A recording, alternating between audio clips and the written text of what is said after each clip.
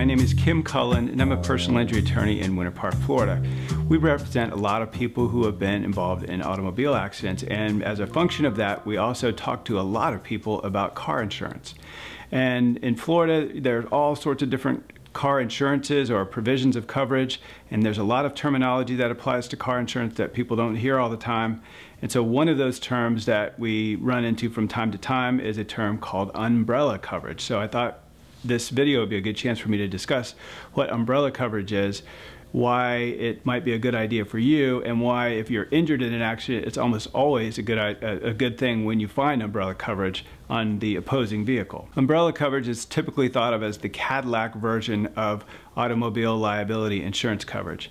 Umbrella coverage is typically sold to people who have a lot of assets, who have a lot of money and can afford a lot of uh, automobile insurance coverage. So umbrella coverage, if you think about it in a visual sense, umbrella coverage sits on top of whatever coverage uh, the person has generally on their other vehicles. So for most companies, before they'll even think about selling you umbrella coverage, you have to have a certain level of liability insurance on each of your vehicles. And for most of the big companies, it's 250,000 slash 500,000 in liability insurance on each of your, of your vehicles before your company will sell you umbrella coverage.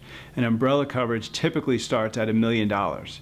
So if you were involved in an accident with someone who had umbrella coverage as part of their insurance package, then usually you would have 1.25 million or more uh, in coverage available to pay whatever injuries uh, to pay you for whatever your injuries are. And so that's usually a good thing if you've been involved in an accident with someone who has umbrella coverage that they have this amount of coverage that can cover you. Now, if you're on the other side and you're the customer, then you want to carry, if you have a lot of assets, you want to carry that much liability insurance coverage so that you don't have to worry about someone seeking to collect from you personally if you or someone in your family injures somebody in, uh, as a result of an accident.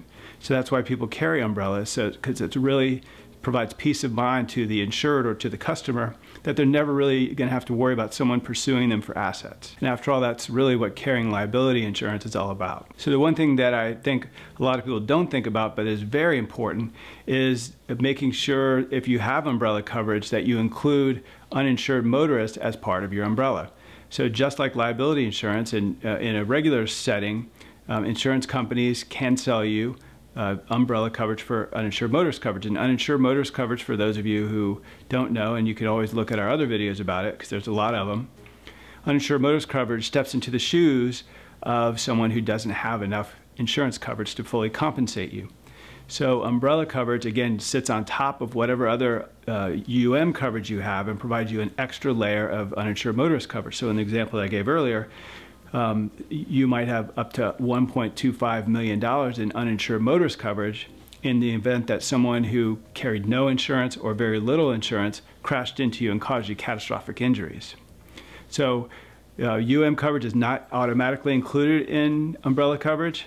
It's something that any agent ought to ask you about and make sure that if you have the option to buy it, you need to look into it carefully because it is an excellent thing to have. It really does provide you with comprehensive, full coverage over anything bad that might happen to you physically as a result of a car accident. So um, if you have any questions about umbrella coverage or really any questions about automobile insurance coverage in general, please reach out to us. We'd love to answer questions. All you have to do is call our office at 407 254 4901 you can text us at 407 644 4444, or you can even reach us through the Facebook Messenger app.